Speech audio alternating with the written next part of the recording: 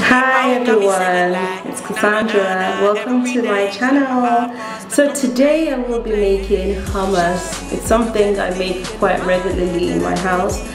Uh, I use it to make uh, falafel wraps, uh, sandwiches, um, even salads because I find a lot that whenever I want to eat salads, I do not have salad creams. So today I will be showing you guys how to make hummus. I'm excited. So what you need is a chickpeas. You need some chickpeas. You need some tahini. You need some salt. I'm using sea salt today.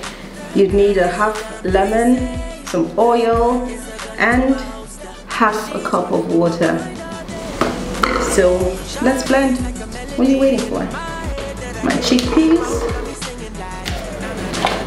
my I'll be adding in the dry the the dry ones first. So this would be the tahini and the salt.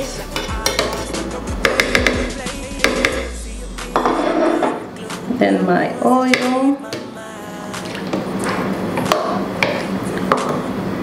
And then some water. With the water, just add a little bit first. You don't need to add all of it yet. Just a little bit, about maybe half of the half a cup. And then the lime. I usually just squeeze out from the lemon myself and squeeze it out. Squeeze. If there are any seeds, just take them out gently.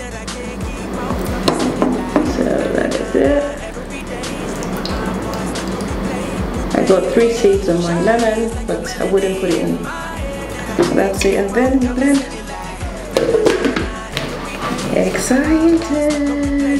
Let's go!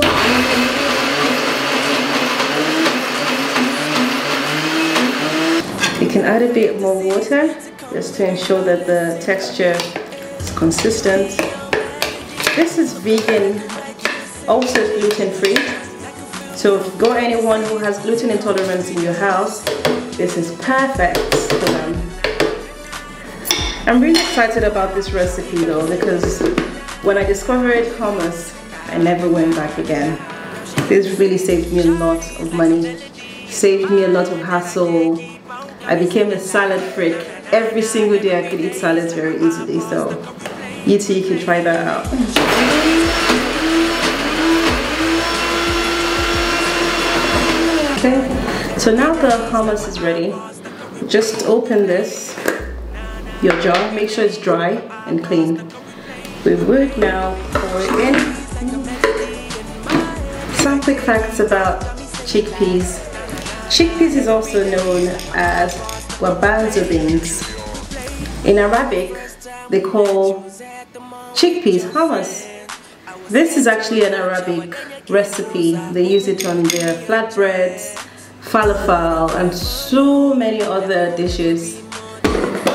And voila, your hummus is ready. Mmm.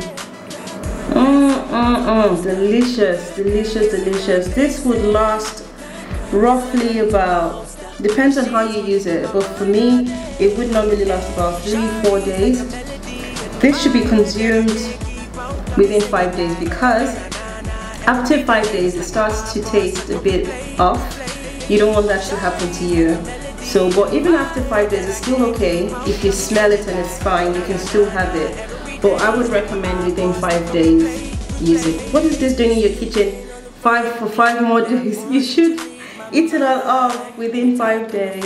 So that's it guys. Thank you so much for watching. If you like the video, don't forget to, to like and subscribe. Thank you so much for watching. Have a good day.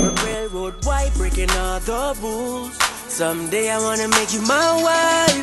That girl, like something a poster. That girl is a they say. That girl